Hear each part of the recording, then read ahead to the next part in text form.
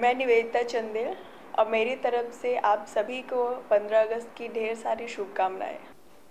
देश को क्या शुभकामनाएँ देंगी 15 अगस्त को? आपका कल गाना भी रिलीज़ होने वाला है हीरिए तो क्या है और 15 अगस्त ही क्यों चुना आपने इस गाने को लेकर?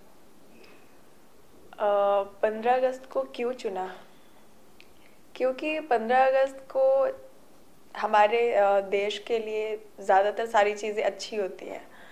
तो मेरे लिए भी अच्छा होगा अगर मैं कोई चीज़ स्टार्ट कर रही हूँ और वो फिफ्टीन ऑफ़ अगस्त को है जो कि हमारे देश के लिए जो स्पेशल डे माना जाता है। तो मेरे लिए भी शायद अच्छा हो इसलिए मैंने फिफ्टीन को स्टार्ट किया। ये आप अपने चैनल पे रिलीज़ कर रही हैं सॉन्ग तो आ, अपने चैनल को ही क्यों चुना आपने? किसी कंपनी से क्यों नहीं रिलीज़ कर रही हैं? ये क्या है इस सॉन्ग में? कैसा सॉन्ग है ये? है इससे पहले जो मैंने सॉन्ग रिलीज़ किए हैं वो सारे मेरे टी सीरीज़ से थे।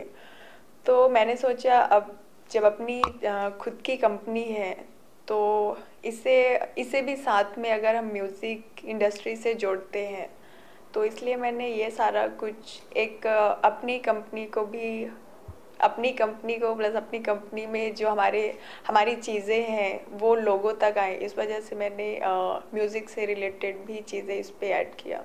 टीज़र में काफ़ी लोगों ने अप्रिशिएट किया आपको, काफ़ी लोगों ने देख चुके अब तक आपका टीज़र और काफ़ी अच्छा लग रहा है टीज़र तो पूरा गाना कहाँ कहाँ शूट किया गया लोकेशन कहाँ कहाँ की रखी गई है, अगर गाने की बात करें तो? टीज़र काफ़ी अच्छा है, लोगों ने भी काफ़ी तारीफ़ की है।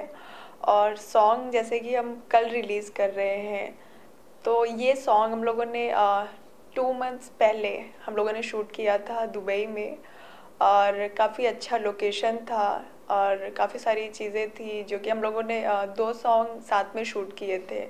एक जो कि टी सीरीज़ से रिलीज़ हुआ है और ये जो सॉन्ग है, ये हमने अपनी कंपनी के लिए शूट किया था, जो कि हम कल रिलीज़ कर रहे हैं फिफ्टीन ऑफ़ अगस्त को। अच्छा आपकी फ़ैशन कंपनी भी है तो ये कहाँ से आपके ख्याल आया कि आपको मतलब एक म्यूज़िक कंपनी भी खोलनी चाहिए? फ़ैशन कंपनी से म्यूज़िक कंपनी आप खुद एक आर्टिस्ट हैं। तो ये कहाँ से ख्याल आया कि हम क्यों नहीं अपनी कंपनी पे ही काम करते हैं? कहाँ से ख्याल आया? किसने राय दी या पहले से ही माइंड में कब था आपका कि ये करना है ऑफकोर्स जब आप काफ़ी सारे लोगों से मिलते हैं काफ़ी सारे लोग आपके आपसे मिलते हैं काफ़ी सारी चीज़ें होती हैं जब एक ग्रुप बनता है ग्रुप में आप बैठते हैं चाहे वो म्यूज़िक इंडस्ट्री से हो या फ़ैशन इंडस्ट्री से हो तो कहीं ना कहीं आपको काफ़ी सारी चीज़ों की नॉलेज होती है। जब आप अगर आप नहीं मिलेंगे किसी से तो आपको चीज़ें वो उस चीज़ का आइडिया नहीं आएगा। तो मुझे भी जैसे मेरे सॉन्ग जो टी सीरीज़ वगैरह से भी आए और मैंने उसी टाइम पे ये फ़ैशन और ये सारी चीज़ें भी स्टार्ट किया। तो लोगों ने मुझे एडवाइस दिया कि आप अपने चैनल से भी कुछ सॉन्ग्स करो। तो मेरे माइंड में जो फ़र्स्ट सॉन्ग आया वो यही आया और हमारे लिए जो डे था वो भी काफ़ी स्पेशल था फिफ्टींथ तो इसलिए मैंने अपने चैनल को म्यूज़िक से भी जोड़ के ये सारी चीज़ें स्टार्ट कर दी। अच्छा आपके चैनल पे आपके अलावा भी दूसरे आर्टिस्टों के भी सॉन्ग रिलीज़ करेंगे या सिर्फ़ खुद के? ये एक इम्पोर्टेंट है कि म्यूज़िक कंपनी है तो आपके दूसरे सिंगर्स के सॉन्ग जो दूसरे आर्टिस्ट हैं, वो आपकी कंपनी पे रिलीज़ अगर करना चाहें तो क्या ये पॉसिबल है? पॉसिबल है। ऑफकोर्स पॉसिबल है।